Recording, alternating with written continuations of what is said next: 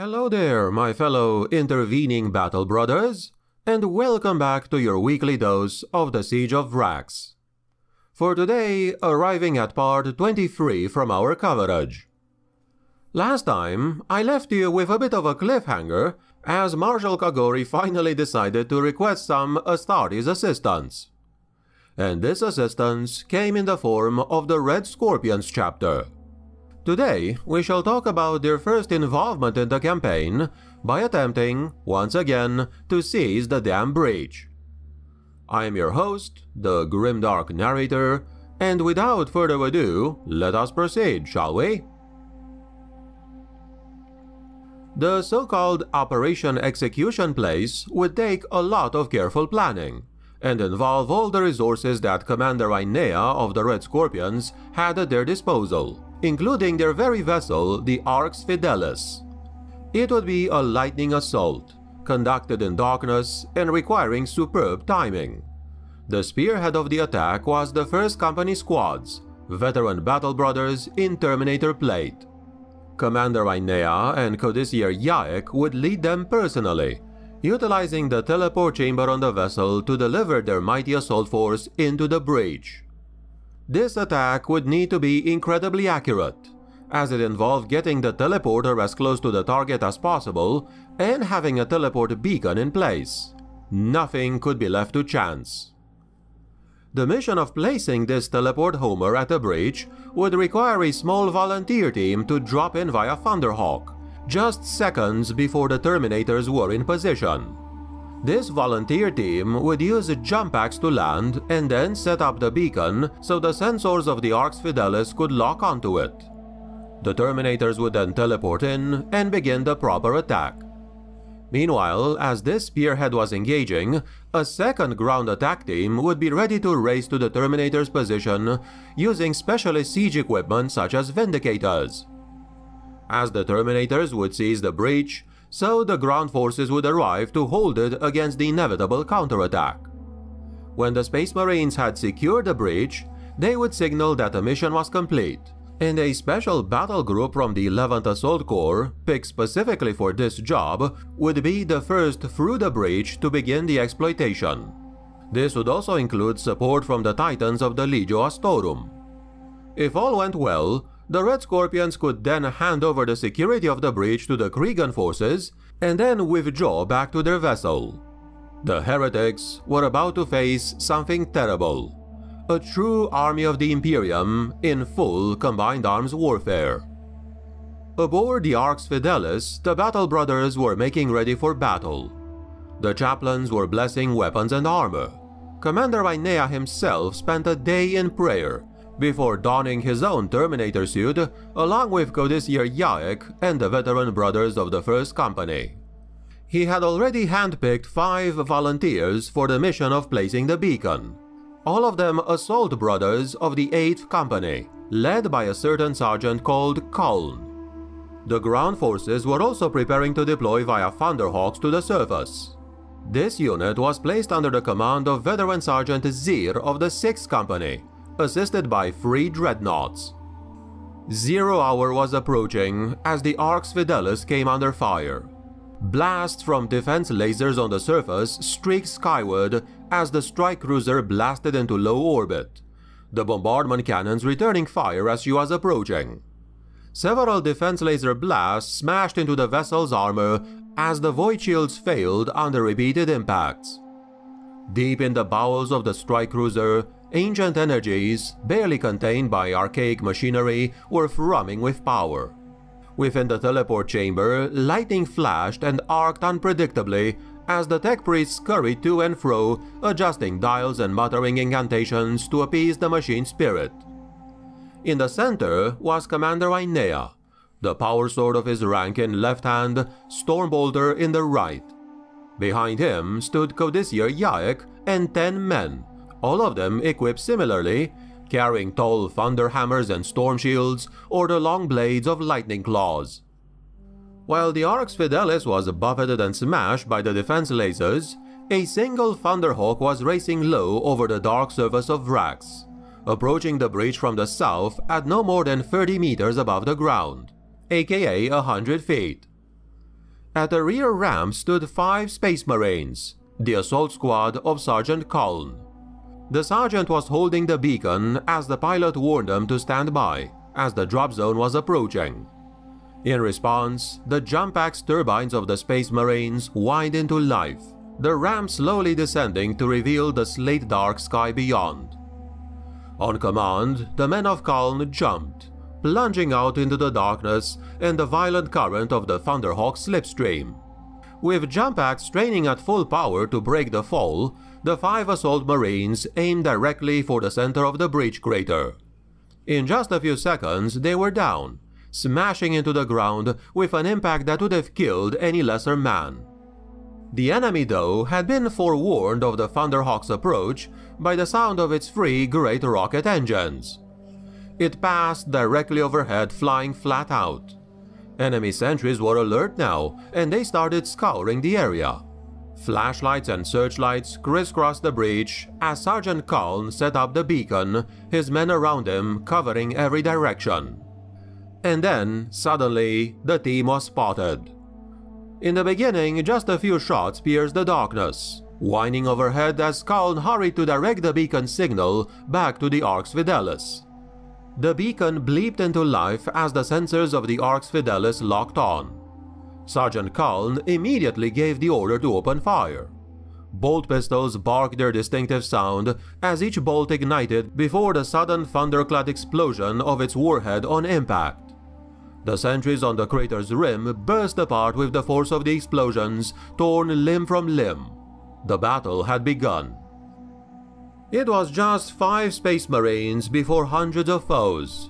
Undaunted, Culln's squad ignited their jump packs again and launched themselves up the crater slope, straight at the enemy. Chainswords slashed and hacked, and bolt rounds roared in the night. Squad Kaln cut down the first sentries, but the alarm had already been raised. More traitors were rushing to man the defenses now. The trail of a missile streaked out of the darkness, smashing one battle brother clean in the chest, the blast of its krak warhead piercing the armor and severing the marine in half. Another space marine was wounded, his helmet punctured, leaving his face a bloody ruin of flesh and blood. Outnumbered and outgunned, even the space marines couldn't stand for long. Reinforcements had to come soon. The teleport chamber of the Arx Fidelis exploded with light as the blue lightning streaked across Ainea and his men. The air was alive, fizzing and sparking with power. As the blinding brightness faded to darkness, the chamber was left empty. The Terminators of Ainea appeared in a flash of light and a halo of sizzling power, directly on target. And now they would begin the slaughter. Ainea's Stormbolter hammered a stream of bolts as the veterans advanced, the defenders' fire useless against their Terminator armor and storm shields. Their thunder hammers and lightning claws cut a swathe into the traitors. In darkness, all was confusion, but the Space Marines knew their plan and retained their discipline, working together to systematically clear the breach. Power reaved Codicier Yaek's force weapon, lightning leaping from his fingers, smiting down anyone standing before him with the power of tamed warp at his command. Those enemies that didn't run away were destroyed utterly. As the Terminator brothers began their attack, so veteran Sergeant Zir's strike force was racing across no man's land, deploying squads into battle lines to complete their advance on foot. Among their ranks stalked the lumbering dreadnoughts. The darkness didn't shroud their attack for long. Searchlight beams played across no man's land, locked onto the Space Marine vehicles, and the enemy firing began. Zir's battle brothers advanced into the fire, bolt guns returning shots in a steady, accurate stream. From behind the advancing squads, missiles and las cannons raced overhead, impacting against the parapets. Heavy bolters were blazing, rocket-powered shells shrieking as they tried to suppress the enemy's strongpoints. Pre-ranged artillery also began to land. Zir himself was flung into the air by a close impact, landing, unharmed, in a rain of rock and shrapnel. The veteran sergeant struggled to his feet and urged his brothers onwards. Their commander, Ainea, was ahead of them, fighting for the breach itself, and they had to reach him. Somewhere in the darkness, a Vindicator's cannon opened fire, scoring a direct hit on the remains of a pillbox, which had been rebuilt with sandbags and boulders. The bunker exploded, its heavy weapon obliterated. Zir's tactical squad finally reached the edge of the crater. Under heavy fire, they paused and regrouped and reloaded, laying down a suppressive volley of bolt gun fire. The dreadnought Nalra was with them, his last cannon barrels glowing red hot. They were soon joined by brothers Raza and Derez, whose rock-cutting power drills were smashing the largest boulders to clear a route for the following vehicles. Before him came the first of the Vindicators. Another of its huge shells landed, looping a high trajectory onto the wall parapet above, its shattering detonation gouging into the rock and sending masonry crashing into the ground. Zir's main force had reached the mine crater. With the chaplain dreadnought and Nalra at the fore, they now plunged down into the crater bottom, where so many Kriegan guardsmen had fought and died before. Racing through the plunging fire and thickening artillery barrage, they climbed the far slope. Driven forward by their power armor, they never broke stride as they raced to join their commander's side. Just ahead of them, Commander Ainea's brothers met a countercharge of the Ogryns. The power sword of the commander was slicing left and right, severing the leg of one of them, which stumbled and fell, still swinging wildly with its club. The attack of the Ogryns was quickly cut to shreds. They were no longer facing just Imperial Guardsmen. The Thunderhammers sent the creatures reeling, their drug-induced nervous systems overloaded by the weapon's impacts. Lightning claws would slash and thrust, raking through crude plasteel armor like paper to dice the Ogryns in gory chunks of meat. Alongside Ainea was the sole survivor of Culln's assault squad, the sergeant himself, wielding the chainsword in both hands, his bolt pistol discarded, empty of ammo. For his heroic effort in the breach that bloody night, Sergeant Khuln would later be elevated to the chapter's first company. Finally, Zir and Chaplain Nalra rendezvoused with their commander. Both were battle-scarred, their armor dented and scorched, but the Red Scorpions had captured the bridge. Enemy bodies lay scattered across the ground, adding to the moldering bones of the long dead. The lightning attack of the Red Scorpions had succeeded where a year's worth of Kriegan attacks had failed. The enemy had been unable to stop the Terminator's sudden teleport assault, the fury of their attack, or the psychic might of Codicier Yaek. Commander Ainea formed his newly arriving reinforcements into a defensive perimeter then. They had taken the breach, and the mission complete signal was being transmitted. Now they had to hold it, at least until the Kriegans and the Titans of Drauka arrived. Ainea and his battle brothers were aware that the battle was not done yet. But the final engagement for the breach is gonna be a story for the next time. And this, my friends, has been what I wanted to tell you about the Siege of Vraks and Operation Execution Place for today. As you probably expected, there were no assets the enemy possessed outside of Chaos Space Marines which could fight off a Terminator assault. And so, the Red Scorpions did their part.